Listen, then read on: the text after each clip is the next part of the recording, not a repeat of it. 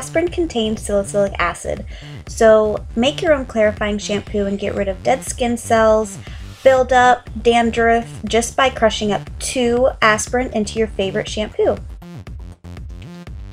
By mixing moisturizer and concealer, you can make a custom foundation that is as sheer or as full coverage as you like.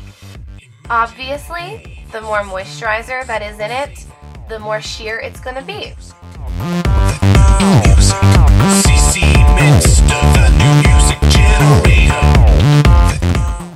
Instantly tightline your upper waterline while curling your lashes by covering the rubber part of your eyelash curler with a gel or kohl liner.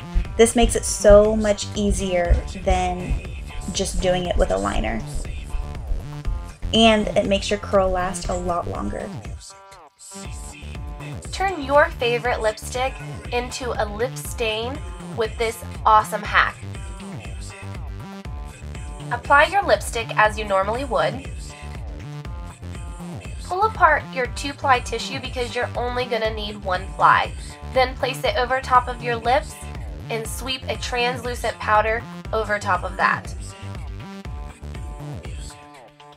Apply your lipstick for a second time and you now have a lipstick that should last you through the night. Intensify and volumize the look of your lashes just by adding layers of translucent powder in between the coats of mascara.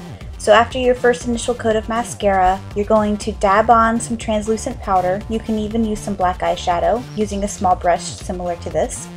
And then build up your layers of mascara over top of that. You can repeat this as many times as you would like. Here's an awesome hack don't have any eyeshadow primer, just use a little bit of lip balm. And I'm talking a little bit, it goes a long way, and that eyeshadow will not come off. Make your perfume or body spray last so much longer just by adding a little bit of petroleum jelly onto your pulse points before you spritz.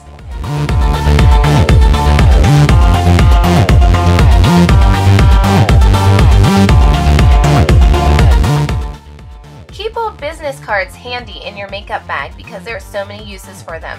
Here I'm using it to contour and give my cheek a really hard edge and you'll see how awesome this looks when I pull it away.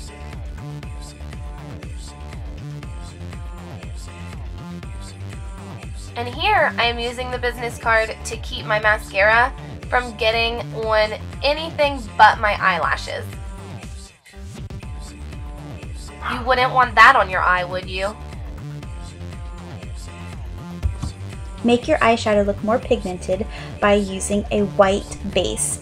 I like to use a white pencil. You can use a jumbo pencil or some sort of white cream base and this will instantly make your eye, especially bright colors, really pop.